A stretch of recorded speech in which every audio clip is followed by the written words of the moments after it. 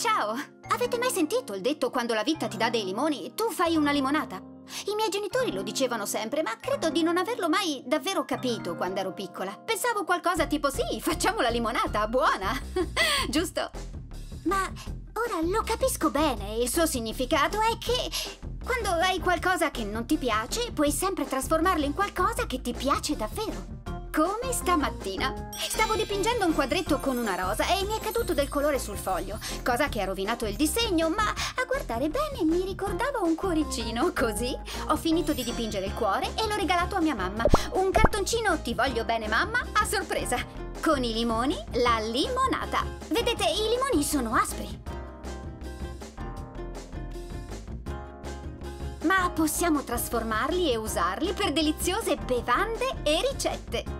Quindi, questo sarà il mio vlog di oggi. Vi insegnerò come realizzare la ricetta della mia famosa torta al limone. Sì! Ed ecco l'elenco degli ingredienti. Una tazza di zucchero bianco, mezza tazza di burro a temperatura ambiente, due uova, sempre a temperatura ambiente, due cucchiaini di vaniglia, una tazza e mezza di farina autolievitante, tre quarti di tazza di latte, un cucchiaino di scorza di limone, vi mostrerò come prepararla, e un cucchiaino di succo di limone, che non è tanto. Ok, intanto vi spiego come preparare la scorza di limone. Oh, questo è davvero importante. Assicuratevi sempre di avere tutti gli ingredienti pronti quando preparate una ricetta, così non vi confonderete durante l'esecuzione. I francesi lo chiamano mise en place.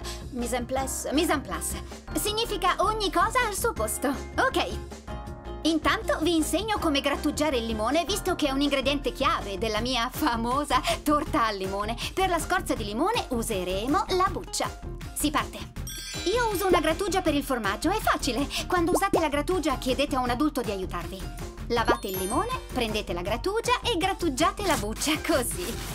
E voilà! Per ottenere un cucchiaio di scorza sarà sufficiente un limone.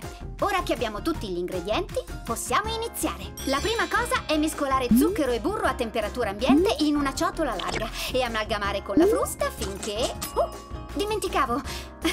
La prima cosa è sempre preriscaldare il forno a 180 gradi. Così il forno si riscalda mentre preparate l'impasto. Quando usate il forno chiedete a un adulto di aiutarvi. Ok, uh, dove eravamo? Ah sì, amalgamate zucchero e burro rendendoli leggeri e soffici, si chiama mantecatura. Aggiungete le uova e la vaniglia. La cosa più importante che ho imparato cucinando è assicurarsi sempre che le uova siano a temperatura ambiente. Si uniranno meglio all'impasto e monteranno più facilmente, così otterrete una torta soffice e leggera. Poi setacciate la farina autolievitante in un'altra ciotola larga come questa Aggiungete l'impasto mantecato e versate il latte, la scorza di limone e un cucchiaio di succo di limone. Usate il succo del limone che avete grattugiato. L'impasto dovrà essere omogeneo. Versate l'impasto in una teglia imburrata da 22 cm e infornate per 35 minuti. Dal limone alla torta al limone. Visto? Io porto questa lezione nel cuore. Quando la vita ti dà dei limoni, tu fai una limonata. Alcune delle cose migliori della vita arrivano per errore. Per esempio, le patatine fritte. Ma di questa storia parleremo un'altra volta. Peace!